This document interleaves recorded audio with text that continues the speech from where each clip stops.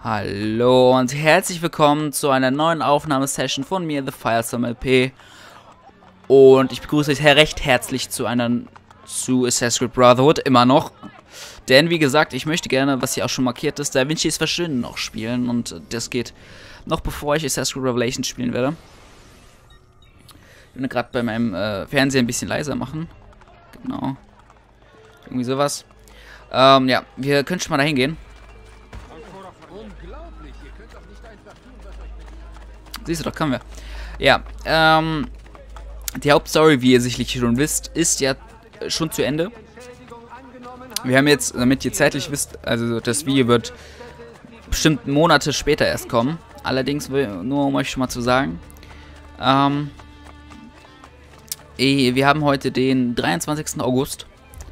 Heißt, wir sind gerade eine Woche nach Schulanfang, beziehungsweise eine halbe Woche nach Schulanfang sozusagen. Wieder nach den, also in Nordrhein-Westfalen zumindest nach den Ferien. Und, ähm,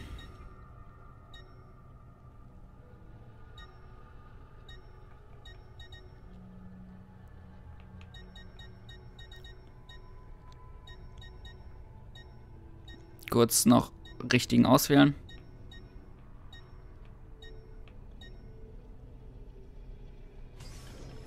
So. Ähm, Jedenfalls sind wir äh, jetzt quasi sind jetzt drei Tage vorbei, zumindest bei mir, ähm, in Sachen Schule. Ich bin jetzt in der 12. Klasse quasi. Und ähm, ja, was soll man sagen? Schulzeit hat wieder angefangen und ich nehme jetzt halt noch Da Vinci's Verschwinden auf. Ich werde, das kann ich euch jetzt schon mal sagen, nicht so mehr so viel aufnehmen können. Ich sage, ich habe jetzt ziemlich viel fortproduziert gegen Ende der Ferien, weil, also am Anfang der Ferien habe ich mir doch gut gehen lassen und so weiter. Äh, Ferien halt und jetzt habe ich ein bisschen voraus aufgenommen dann. Ganz viel halt zu Ende gespielt.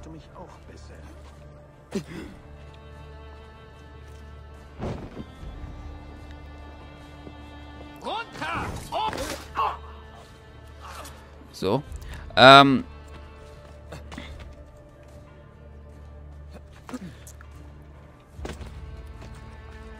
Und ähm, jetzt äh, ist jetzt quasi, also ich kann euch sagen, heute ist jetzt Samstag, der 23. August.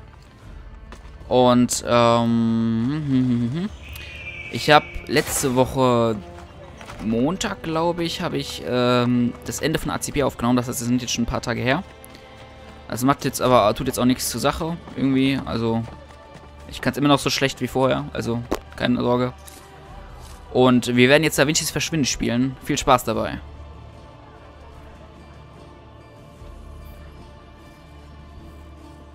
Ezio, ich werde wohl langsam wirklich alt. Ich wusste nicht, dass du nach Rom kommst.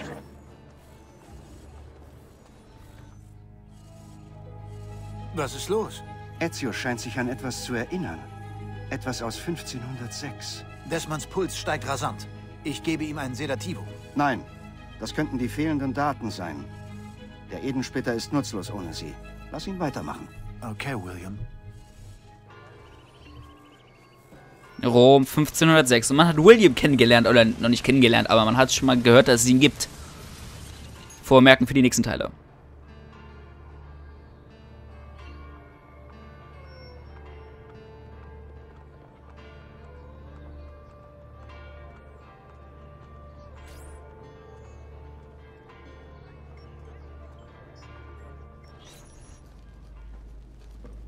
Salai, bist du das? Ezio, ich werde wohl langsam wirklich alt. Ich wusste gar nicht, dass du nach Rom kommst. Aber leider kann ich nicht bleiben. Ich muss ein Schiff chartern. Da kann ich dir helfen. Ich kenne einen Kapitän, der ist sehr diskret. Warte, ich habe irgendwo seinen Namen notiert. Woran arbeitest du? Ach, das? Nur ein Steckenpferd. Du bist doch vertraut mit Pythagoras. Äh, natürlich. Der brillante Philosoph aus Grecia, der so viele Geheimnisse der Himmelssphären und des Kosmos entdeckt hat. Diese Symbole stammen von ihm? Seit ich diesen merkwürdigen Apfel untersucht habe, haben sie sich mir in den Verstand gebrannt. In den Schriften von Pythagoras Schülern fand ich ähnliche Symbole. Ich fürchte, der Name des Kapitäns ist mir entfallen. Der Apfel ist in Sicherheit. Vielleicht konzentrierst du dich lieber aufs Malen. Du scheinst ja ganz ordentliche Arbeit zu leisten. Ha, sehr nett. Doch sogar ich sehe, dass sie nicht unbedingt gut getroffen ist. Und dieses breite Lächeln übertrieben, bedeutungslos. Vergiss die Malerei. Ich habe bei meinen Forschungen einen Durchbruch erzielt. Eine große Entdeckung gemacht. Salai, bringst du mir... Ach, er ist nicht hier. Ich hätte dich gerne zum Hafen begleitet, aber einer muss hier sein und auf die Werkstatt aufpassen. Bene, ein Kinderspiel. Ich fürchte, du unterschätzt Salai. Wir werden sehen. Wie du willst.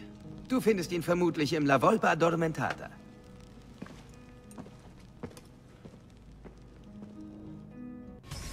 Die Würfel sind gefallen. Leonardos Assistenten Salai in die Diebesgilde finden.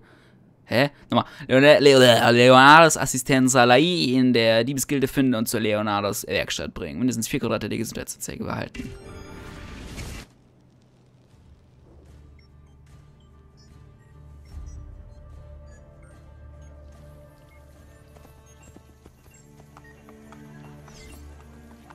Da sind wir auch schon. Suchen wir mal Salai.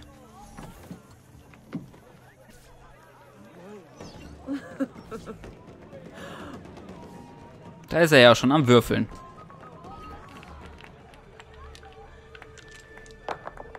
Die Nuovo! Das sind Glückswürfel, das sagte ich doch. Fortuna wünschte, sie wäre so gut wie ich. Gian Giacomo. Ich höre nicht auf diesen Namen. Salai. Besser, doch nicht gut genug. Ja! Auf ein neues! Leonardo, euer Meister, wünscht euch zu sehen. Der kann warten. Nein.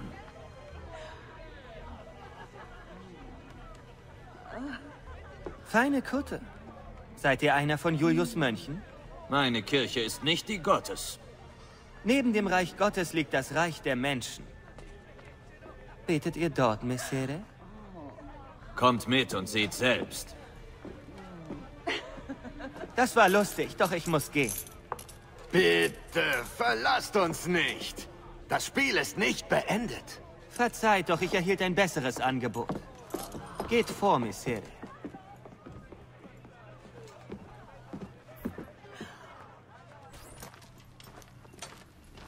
Die drei Männer vom Würfelspiel folgen uns. Bleibt ruhig. Warum? Sentite! Ich spiele nicht mehr! Wir auch nicht.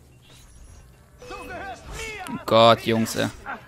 Was ist mit dem los?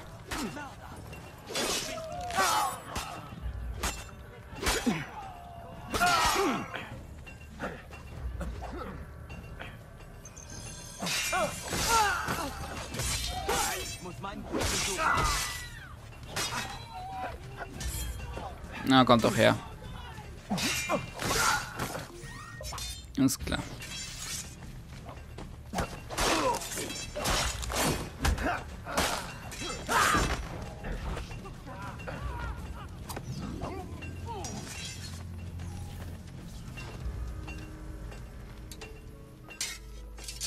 Nur ein Mann ist zu einer solchen Darbietung imstande. Ihr seid Ezio Auditore. Kommt, wir müssen sofort zu Leonardo zurückkehren. Ihr macht nicht viele Worte, oder? Gut. Ich laufe vor. Ihr hinterher.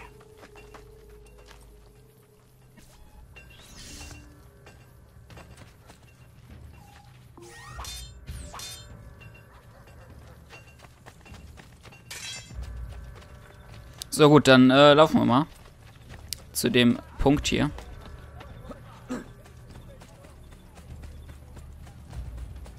Ja, die sind diese komischen Menschen, die es wohl anscheinend auf die Leonardo und oder zumindest seinen Diener ähm, abgesehen haben.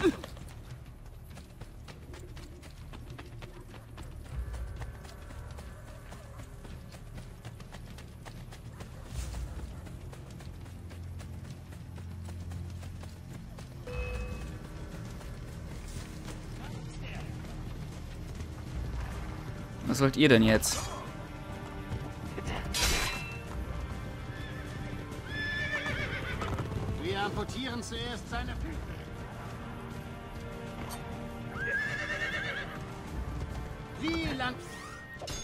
Gott.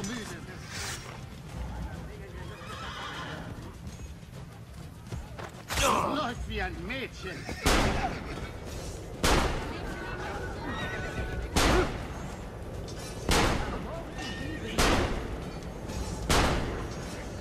Ihr könnt ja gar nichts, Mann. Erstmal muss ich mir wieder Kugeln holen.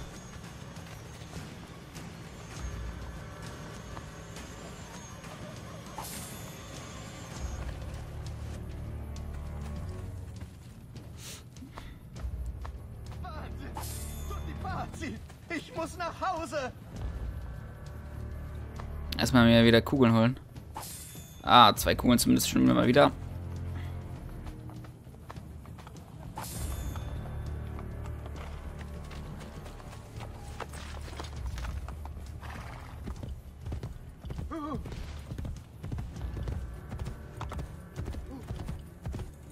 So, jetzt äh, reiten wir jetzt mal wirklich äh, zu Salai, beziehungsweise zu dem Treffpunkt mit Salai.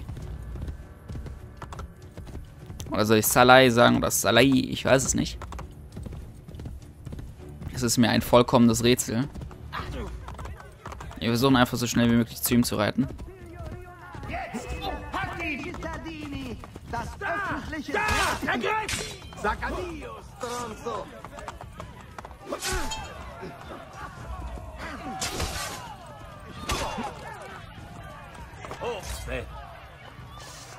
Jetzt, Brüder! Oh Gott.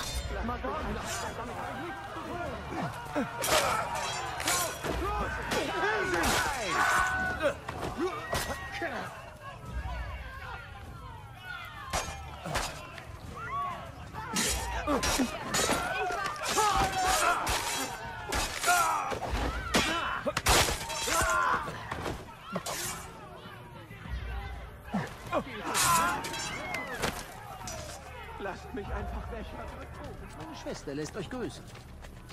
So. Alles klar. Ich halt aufs Dach. Das kann man hier nämlich besser. Und dann ist es auch besser, wenn man äh, hier auf dem Dach ist.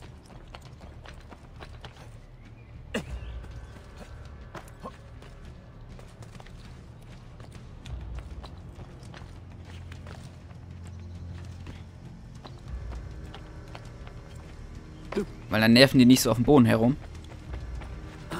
Ich gehe gerade ziemlich äh, falsche Wege, aber ich will hier über die Dächer gehen. Das heißt...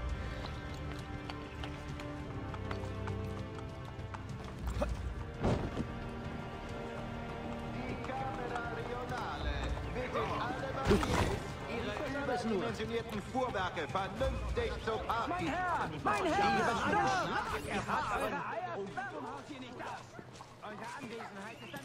Diese Fremden sind hartnäckig. Ich bin schon Jüngern in ähnlichen Roben begegnet. Sie suchten ein Objekt, das ich damals besaß. Ihr meint den Edensplitter? Leonardo sprach davon. Er sagt mir alles. Seine Gesprächigkeit kommt uns teuer zu stehen. Wir müssen ihn warnen. Sprecht nicht weiter. Ich kenne den besten Weg. Ich nehme ihn jeden Morgen, wenn die Tavernen schließen. Folgt mir.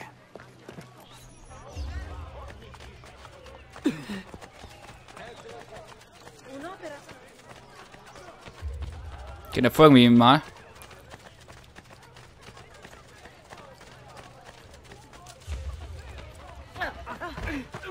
Ich umgehe sie. Wir umgehen sie, alles klar.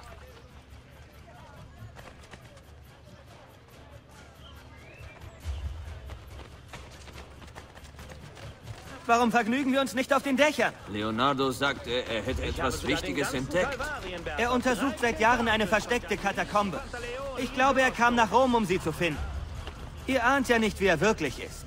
Er arbeitet die ganze Zeit an dieser Sache und führt mich nie aus. Und er ist so geizig. Ich muss ihn um Geld anbetteln. Er gibt euch tatsächlich Geld? Mehr oder weniger. Was er nicht weiß, macht ihn nicht heiß. Allora, ihr kommt aus Firenze. Erzählt mir mehr davon. Gut, dann nutze ich meine Vorstellungskraft. Oh, mein Freund, du redest ein bisschen viel, ne? Mein Freund.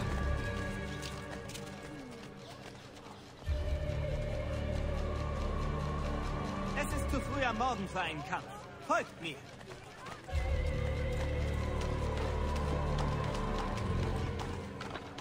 Hat Leonardo etwas in den Katakomben entdeckt?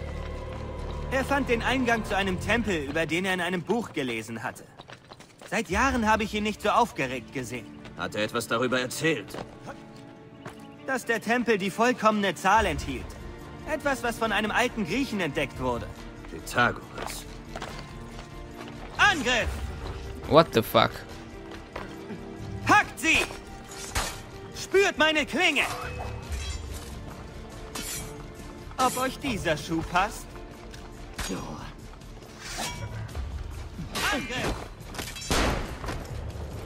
Hackt sie! Ihr wollt schnell ankommen? Dann meidet ihre Schwerter. Wie ich ihn kenne, hat Leonardo jedem davon erzählt, der ihm zuhören wollte.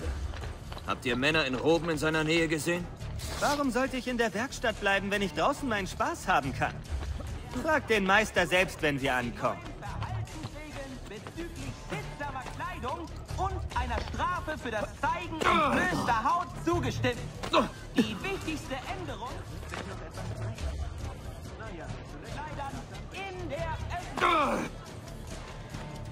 Okay, wir sind gleich da, glaube ich.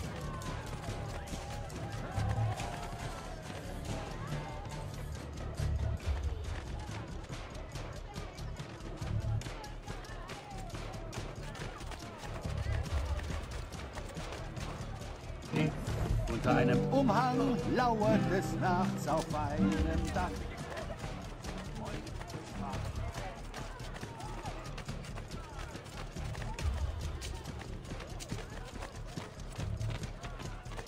Wir sind da.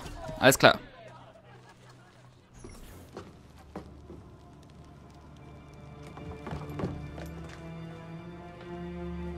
Maestro!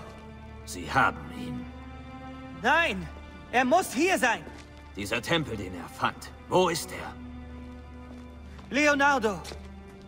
Salai, wenn ihr ihn retten wollt, dann sagt mir, wo der Tempel ist. Ich weiß es nicht. Katzo. Ezio! Da ist eine Nachricht auf dem Boden. Was besagt sie? Ich kann nicht lesen. Leonardo wollte es mir beibringen, doch bisher... Villa. Gemälde. Sollen wir Kunstwerke studieren? Schon als Leonardo damals in eurer Villa wohnte, hat er nach dem Standort der Katakomben gesucht. Einige seiner Gemälde hingen in der Galerie dort. Doch was hat das mit dem Tempel zu tun? Vielleicht hat er seine Forschungsergebnisse in einem der Rahmen versteckt. Die sind zerstört. Sie sind bei dem Angriff verbrannt. Nein, sind sie nicht. Nur Leder und Johannes. Die Borgia haben den Rest. Sechs Gemälde. Fünf. Ich sagte dem Händler, das Porträt einer Dame sei von Leonardo. Ich brauchte Geld für einen Wams. Natürlich ist er längst aus der Mode. Wer hat die Gemälde jetzt? Lucrezia Borgia. Im Palazzo ihres Mannes bei Ferrara. Dann ist es Zeit, das Gestohlene zurückzuholen.